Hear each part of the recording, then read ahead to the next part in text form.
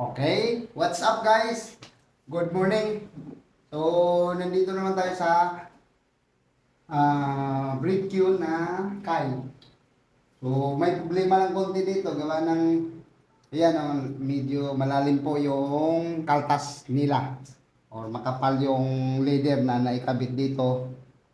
So, ang gagawin natin para mapaangat natin, so maglagay tayo una ng medyo manipis na leader, tsaka natin ipatong yung si snake leader, okay?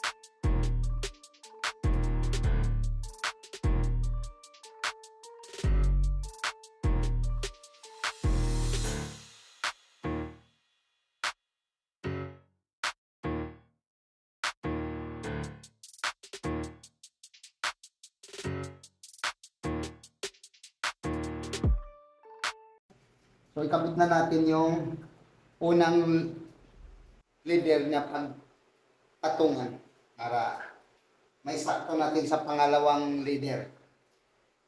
Leader din to guys, ay lang medyo manipis.